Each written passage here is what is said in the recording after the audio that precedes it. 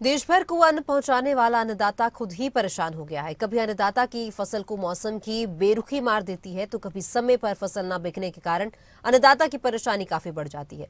जिला कांगड़ा के किसानों को अपनी धान की फ़सल को अनाज मंडियों में बेचना मुश्किल हो गया है।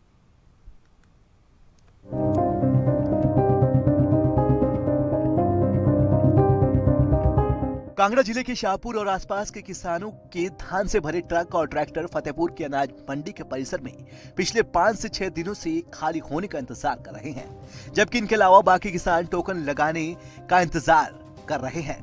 इन किसानों की आधे से ज़्यादा फ़सल अभी भी खेतों में पड़ी हुई है। प्रदेश सरकार ने धान की खरीद तो कर ली, लेकिन उसे लिफ्ट करने का प्रोसेस काफ़ी धीमा है। मात्र दो शेलर, राजा का बाग और ढलियारा में स्थित है। जिनको सिर्फ़ 2500 क्विंटल धान से चावल बनाने के लिए दिए जा रहे हैं। उस पर भी एक शर्त लगा दी गई है कि जब तक दिए गए धान का चावल शैलर से वापस नहीं आता, तब तक दूसरी खेप नहीं दी जाएगी। एपीएमसी के नवनियुक्त सदस्य और हिमाचल किसान संघ इकाई का कहना है कि सरकार और विभाग किसानों पर नहीं, बल्कि जिला के दो शैलरों पर मेहरबान है। उन्होंने कहा कि सरकार को जिला ऊना और अन्य जिलों के बड़े बड़े शैलरों से संपर्क करना चाहिए ताकि लिफ्टिंग जल्दी हो सके। चिट्ठियाँ डाल के या फो, फ़ोटो फ़ोटो वगैरह जब कटाई शुरू हुई थी वो भेज के हमने तीन तारीख को शुरू करवाई थी पाँच को। मतलब प्रोक्योरमेंट इन्होंने पाँच को शुरू की थी लेकिन दस तारीख को बिलिंग करनी शुरू कर दी थी।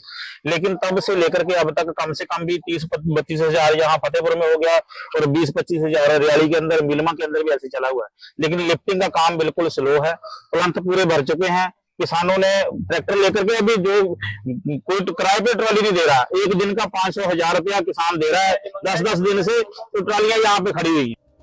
फतेहपुर के अनाज मंडी में कांगड़ा ज़िले भर से आए किसानों की धान से भरी 25 से 26 गाड़ियाँ पिछले पाँच से छह दिनों से खाली होने का इंतज़ार कर रही हैं। किसानों का कहना है कि किसान मंडियों में धान बेचने के लिए बैठेंगे या अपनी नई फ़सल को लगाने की तैयारी करेंगे। उसके छोड़ जा रहे हैं, फिर दूसरा भी कटाई करना होता है। फिर ऐसे करते करते पूरा एक महीना लग गया, दाना फिर भी कुछ मंडी में कुछ घर पे है। कब बेचेंगे? क्या करेंगे? अगली फ़सल का क्या सोचेंगे? इस बारे में खाद्य आपूर्ति विभाग के निदेशक राम कुमार गौतम ने कहा कि सोमवार को जिला खाद्य आपूर्ति विभाग नियंत्रक की अगुवाई में मंडियों में पहुंचकर किसानों की समस्याओं को जानेंगे और उनका हल करेंगे। प्रशासन की तरफ़ से किसानों को आश्वासन दिया जा रहा है कि किसानों की फ़सल को जल्द खरीदा जाएगा। डेस्क रिपोर्ट खबरें अभी तक